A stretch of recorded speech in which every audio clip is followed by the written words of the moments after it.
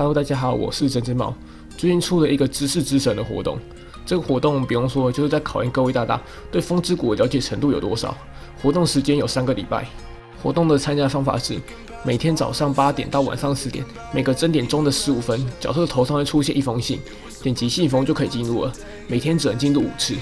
简单来说，就是选 A 选 B 的游戏。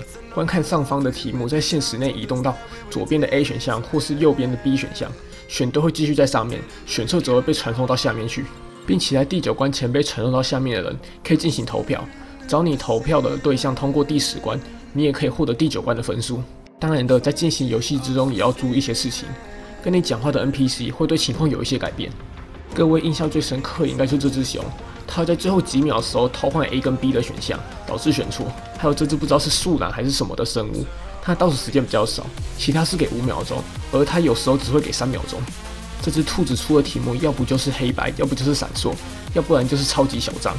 最佛系的就是这只猫了，它出的题目清楚明了，不太会常有心机。题目有时出现一些字很像的题目，或者是颜色分辨不太出来的题目。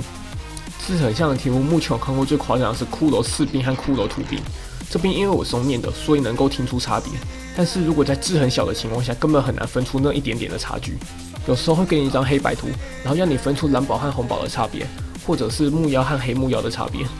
遇到这类型的题目，如果真的看不出差别，真的只能看自己的运气了。